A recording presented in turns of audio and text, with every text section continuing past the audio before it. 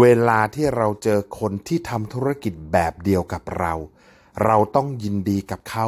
ห้ามไปโกรธเขาเด็ดขาด รวมไปถึงกับคนที่ใช้บริการเขาด้วย เพราะสุดท้ายผลลัพธ์ไม่ได้อยู่ที่ใคร ไม่ได้อยู่ที่ขายเหมือนใคร เรียนแบบใคร แต่ผลลัพธ์มันอยู่ที่ความพอใจของคนที่ไปใช้บริการเขามากกว่า ถ้าวันหนึ่งเราโตเป็นผู้ใหญ่ เราจะเข้าใจว่าการให้โอกาสใคร ได้มีที่ยืนในธุรกิจ ถือว่าเป็นกุศลที่ดีอย่างหนึ่ง